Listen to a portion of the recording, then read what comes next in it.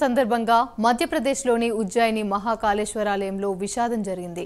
గర్భగుడిలో భస్మహారతి సమయంలో ఒక్కసారిగా మంటలు చెలరేగడంతో పదుల సంఖ్యలో పూజారులు ఆలయ సిబ్బంది భక్తులు గాయపడ్డారు.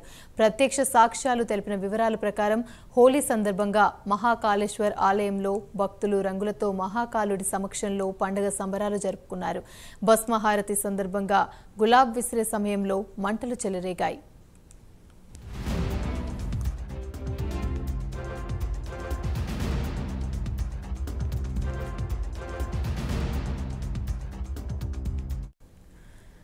గర్భగుడి గుహ రూపంలో ఉండడంతో పూజారులు ఎటు వెళ్ళలేని పరిస్థితి ఏర్పడింది. ఈ ఘటనలో పదమూడు మంది అర్చకులు గాయపడ్డారు. విషయం తెలుసుకున్న పోలీసులు క్షితగాత్రులను వెంటనే ఉజ్జాయిని జిల్లా ఆసుపత్రికి తరలించారు. ఈ ఘటనలో భస్మహారతి ప్రధాన పూజారి సైతం గాయపడ్డారు.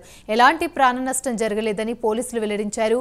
ఘటనపై విచారణకు మెజిస్టీరియల్ విచారణకు ఆదేశించారు.